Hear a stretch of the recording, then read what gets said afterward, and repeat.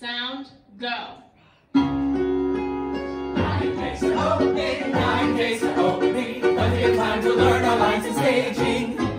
We're the actors who learn in time, learn in time, plenty of time. We're the actors whose time to spare who lounge at our convenience. Nine days to opening, nine days to opening.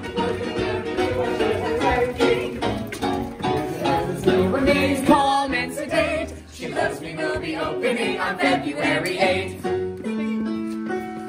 Thank you, thank you. Come see our show, do see our show.